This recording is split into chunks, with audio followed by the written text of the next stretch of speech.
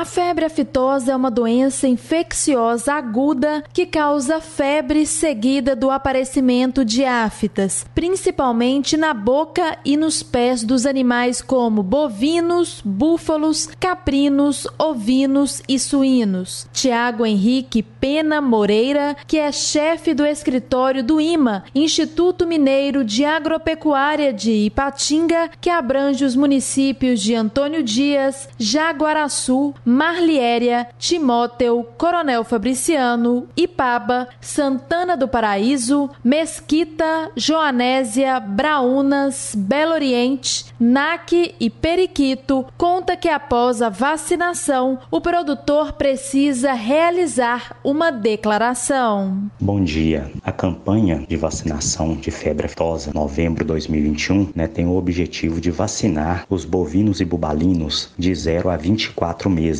O produtor deve procurar as lojas credenciadas né, pelo IMA que vende vacina, né, adquirir a vacina é, e transportar e durante a aplicação também manter na caixa de isopor com gelo e fazer a declaração para o IMA até o dia 10 de dezembro. A campanha inicia-se dia 1 de novembro e vai até dia 30 de novembro, mas o produtor pode declarar até dia 10 de dezembro. A expectativa é que nos municípios que pertencem ao ESEC de Ipatinga, né, que são 14 municípios da região do Vale do Aço, que vacine-se em torno de 48 mil cabeças entre 0 e 24 meses. Tiago Henrique ainda ressalta a importância da vacinação contra a febre aftosa e afirma que o produtor rural que não vacinar os animais será multado. O produtor que adquirir a vacina e não declarar até o dia 10 de dezembro está passível a multa, né, o valor de R$ 19,72 por cabeça e o produtor que não comprar a vacina e não declarar, ele está sujeito a multa também de R$ 98,60 por cabeça. Então, alerta aos produtores aí, né, para evitar multas, evitar constrangimentos, para adquirir a vacina logo no, na etapa do, logo no começo da etapa, né, e já vacinar e já declarar,